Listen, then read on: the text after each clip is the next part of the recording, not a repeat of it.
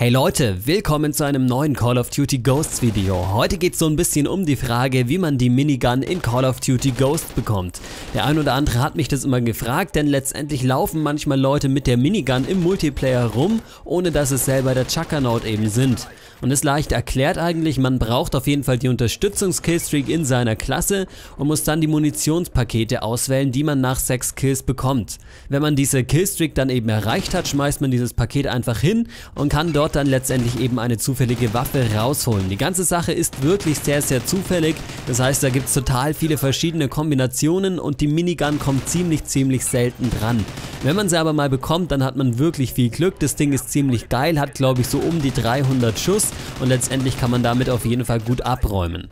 Es ist so, dass diese Minigun weg ist, wenn man gestorben ist, das heißt, da muss man aufpassen und es ist hier auf jeden Fall so, dass man eben keine Munition mehr bekommt, zum Beispiel durch Plünderer oder so. Das heißt, man muss auch schön gezielt schießen, auch wenn so eine Minigun natürlich immer so ein bisschen dazu animiert, dass man ein bisschen durch die Gegend sprayt. Man sollte auf jeden Fall versuchen, möglichst genau zu schießen. Ihr seht im Hintergrund jetzt eben auch ein Gameplay dazu. Die ganze Sache ist natürlich gegen Bots erspielt. Man sieht es, denke ich, auch. Letztendlich war der Grund, dass ich jetzt hier gegen Bots gespielt habe, einfach der, dass es doch ganz schön aufwendig ist, eben so viele Munitionskisten zu erspielen, bis man dann endlich mal die Minigun hat. Und von daher dachte ich mir, geht es ein bisschen einfacher mit den ganzen Bots. Schreibt ihr mir mal in die Kommentare, was ihr von der Minigun haltet und ob ihr sie schon mal im Multiplayer gesehen habt, würde mich interessieren. Außerdem würde ich mich natürlich über eine Bewertung freuen, falls euch dieses Video gefallen hat.